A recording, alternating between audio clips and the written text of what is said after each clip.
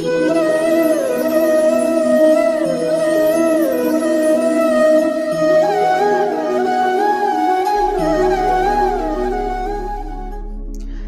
নিতাই আজ আমরা দ্বাদশ গোপালের অন্যতম উরূপ গোপালের অলৌকিক লীলামাধুরী আস্বাদন করব।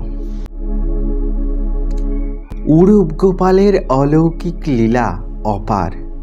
ভক্ত যেমন ভগবানকে দর্শন করে সুখ পান, তেমন ভগবানও যে তার ভক্তকে দেখতে চান, সেই ভক্তের জন্যে অপেক্ষা করে থাকেন। ভক্তের ভালোবাসা ভরা পূজা পেতে চান। উরূপ গোপালের অলৌকিক লীলামাধুরী থেকে তা প্রমাণ হয়। দক্ষিণ ভারতের কর্ণাটক রাজ্যের ম্যাঙ্গালোর শহর। সেই শহর থেকে আটান্ন কিলোমিটার দূরে পয়স্বিনী নদীর তীরে অবস্থিত বৈষ্ণব তীর্থ উদীপী বা উরূপ।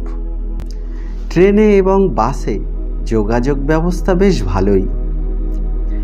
এই উরূপ তীর্থ তত্ত্ববাদী সম্প্রদায়ের, অর্থাৎ জগৎগুরু মাধ্যাচার্যের দ্বৈতবাদী সন্ন্যাসীদের মঠ এটি। এরা অদ্বৈতবাদী সন্ন্যাসীদের মুখদর্শন করে ফেললে সেই বস্ত্রেই স্নান করে শুদ্ধ হন। উরূপ মঠের প্রতিষ্ঠাতা ছিলেন মাধ্যাচার্য। ত্রয়োদশ শতাব্দীতে স্থাপিত হয় মঠটি। এখানকার মূল কৃষ্ণ মন্দিরটি খুব যে আয়তনে বিশাল তা নয়। তবে মন্দিরের মধ্যে বিরাজ করছেন যে গোপালদেব, তার কীর্তিকলাপ বিশাল। উরূপ তীর্থে আরও দুটি মন্দির আছে। একটি অনন্তেশ্বর মন্দির, অপরটি চন্দ্রমৌলীশ্বর মন্দির।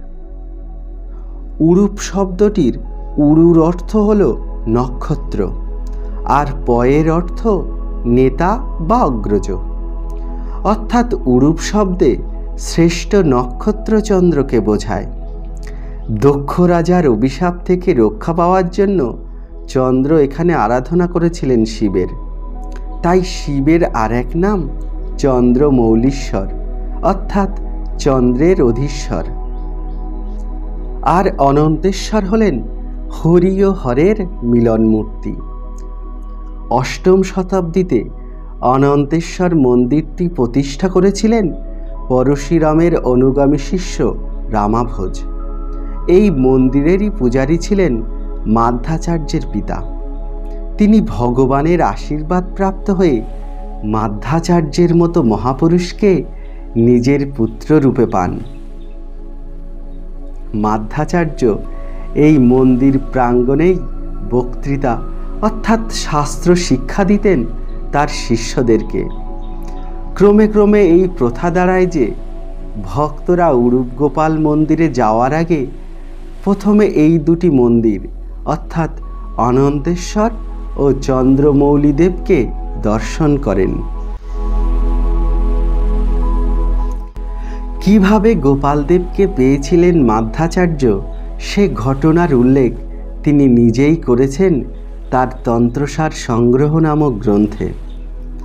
তিনি তখন নিদ্রামগ্ন।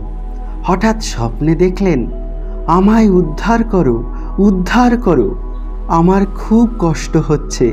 আমায় এনে তোমার কাছে রাখো। এ কথা বলছেন বালকরূপী গোপাল। মাধ্যাচার্য স্বপ্নতে বলছেন, তুমি কোথায় আছো প্রভু? কোথায় থাকতে তোমার কষ্ট হচ্ছে? বলো আমায়। আমি অবশ্যই তোমায় সেখান থেকে নিয়ে চলে আসব। আমি তো ধন্য হব প্রভু তোমার সেবা করে। বলো আমায়, কোথায় তুমি? তখন গোপালদেব বললেন, সমুদ্র তীরে গোপীচন্দন বোঝাই যে ডিঙা জলমগ্ন হয়ে উল্টে আছে, তার গর্ভেই আমি চাপা পড়ে আছি। নিদ্রাভঙ্গ হল মাধ্যাচার্যের। তিনি সকলকে সব ঘটনা জানালেন। কালো বিলম্ব না করে পরদিন থেকেই অনুসন্ধান চালানো হলো। অবশেষে ডিঙা পাওয়া গেল। উদ্ধার করা হলো শ্রী গোপাল দেবকে গোপীচন্দনের মধ্যে থেকে। মাধ্যাচার্য বিগ্রহকে প্রথমে চুবিয়ে রাখলেন একটি পুষ্করণীতে। সেটির নাম বর্তমানে মহাসরোবর। মন্দিরের সামনেই সেটি অবস্থিত। তারপর মকর সংক্রান্তির দিন প্রতিষ্ঠিত করা হলো তাকে উরূপে। ত্রয়োদশ শতাব্দী থেকেই ইতিহাস প্রসিদ্ধ হলেন এই বিগ্রহ উরূপ গোপাল নামে। এই উরূপ গোপাল ভক্তগত প্রাণ, কেন সে প্রসঙ্গে আসছি একটু পরে।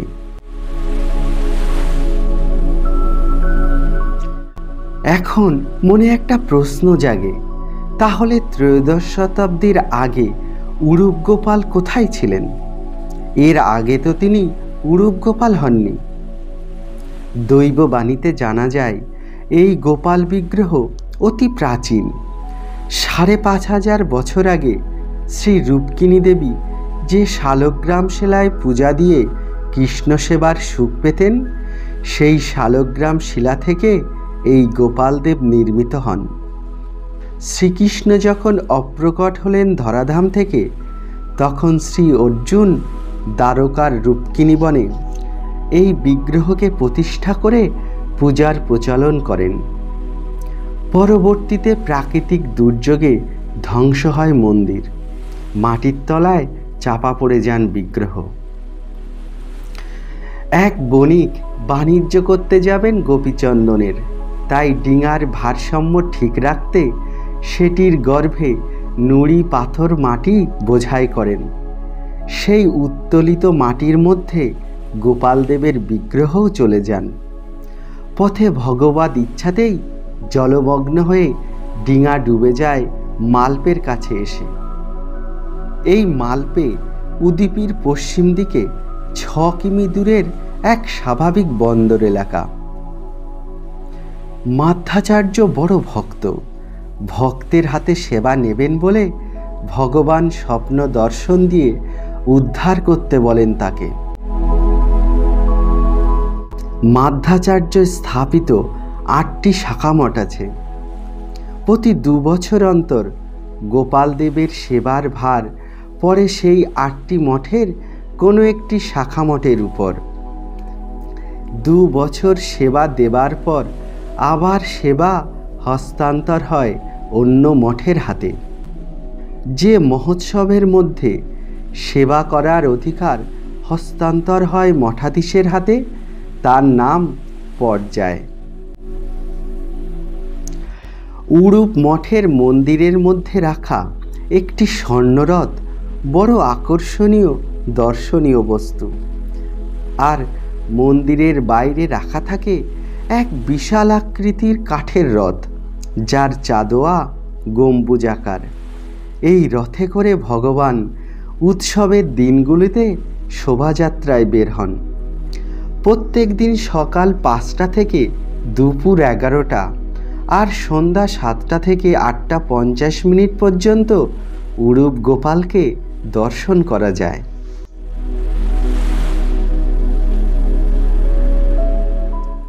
শ্রীমন মহাপ্রভু চোদ্দোশো বত্রিশ শকাব্দের অর্থাৎ পনেরোশো দশ খ্রিস্টাব্দের বৈশাখ মাসের দ্বিতীয় সপ্তাহে দাক্ষিণাত্য ভ্রমণে রওনা হন। শ্রীরঙ্গপত্তমে বল্লভ ভট্টের গৃহে চতুর্মাস্য ব্রত করার পর নানা তীর্থ ঘুরে এসে উপস্থিত হন উরূপ তীর্থে।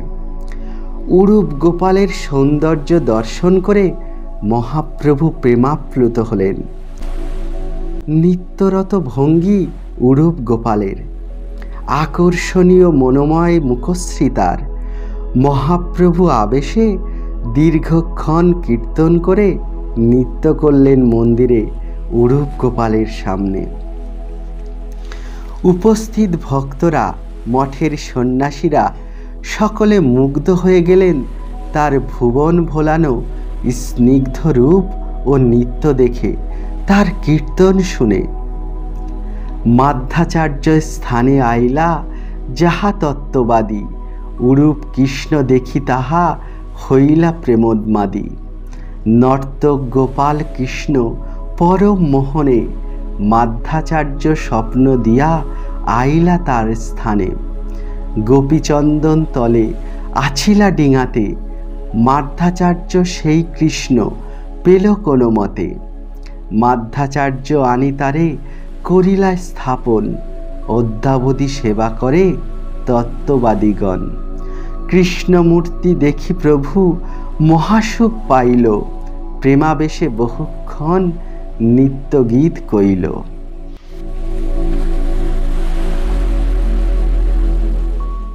এবারে আসি উরূপ গোপালদেবের আর এক অলৌকিক লীলা প্রসঙ্গে। অন্যান্য মন্দিরে যেমন বিগ্রহ পূর্বমুখী বা দক্ষিণমুখী হয়ে বিরাজ করেন, এখানে কিন্তু তা নয়। গোপালদেব পশ্চিম দিকে মুখ করে দর্শন দেন। আর এই বিচিত্র ব্যাপার তার নিজের ইচ্ছাতেই। ষোড়শ শতকের ঘটনা এটি। কনক দাস বা কঙ্কন দাস নামক নিচু জাতের এক ভক্ত ছিলেন। তার মনে তীব্র বাসনা ছিল, সেই পরম মহিম প্রাচীন বিগ্রহ নর্তকরূপী গোপালদেবকে একবার অন্তত দর্শন করার। অথচ অন্তজ শ্রেণির মানুষের মন্দিরে প্রবেশের অধিকার ছিল না। কনক দাস করলেন কি? সকলের নজর এড়িয়ে মন্দিরে প্রবেশের চেষ্টা করলেন। আর যা হবার তাই হলো। মন্দিরের প্রহরীরা তাকে চিনে ফেললেন কোনোভাবে। অকথ্য গালিগালাজ করে বার করে দেওয়া হলো মন্দিরের চত্বর থেকে তাকে। মনের স্বাদ মনেই রয়ে গেল কনক দাসের। গোপাল দর্শন আর হলো না।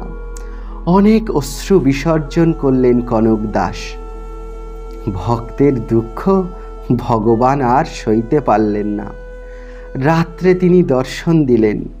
গর্ভগৃহের পশ্চিম দিকের যে জানালা আছে, সেখানে এসে যেন কনক দাস দাঁড়ায়। তিনি অপেক্ষা করবেন কনক দাসের জন্য।